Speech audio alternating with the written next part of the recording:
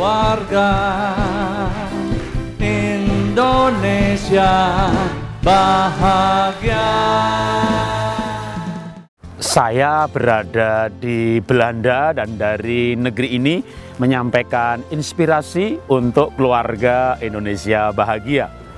Selamat berjumpa dalam serial pelajaran menjadi seorang ibu.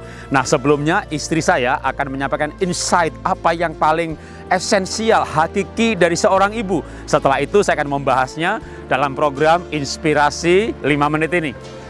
Yokobet mempunyai tiga anak, Miriam, Harun, dan Musa.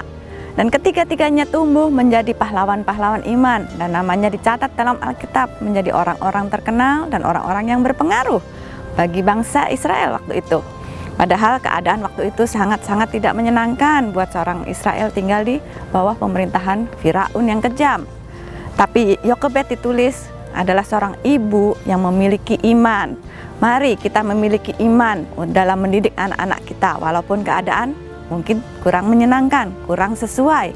Tapi iman dalam mendidik anak itu akan menghasilkan anak-anak yang luar biasa Sejak dini mereka ditanamkan iman, percaya kepada Tuhan, dan mereka besar akan menjadi orang-orang yang hebat.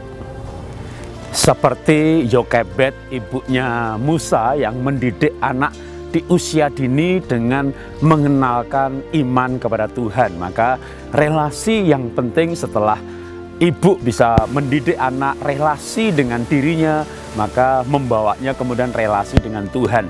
Karena di usia dini segala sesuatu yang terjadi, yang dialami itu membekas atau istilahnya masuk areal bawah sadar. Jadi ketika anak usia dini diceritain mengenai Tuhan, ya diajak berdoa, mungkin seperti nggak ada dampaknya. Bahkan mungkin bisa remaja tuh hilang kayak nakal nggak mau ke gereja.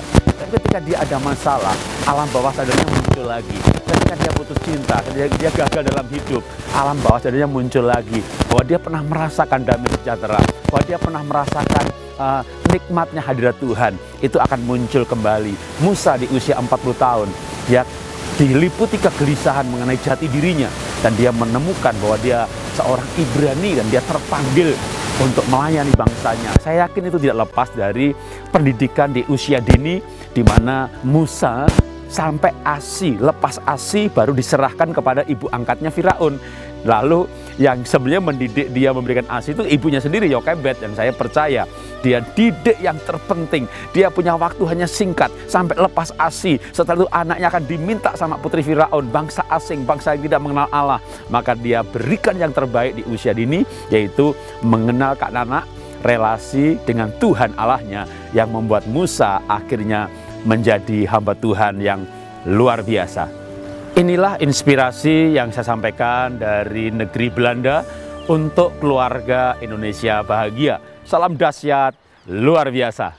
Keluarga Indonesia bahagia.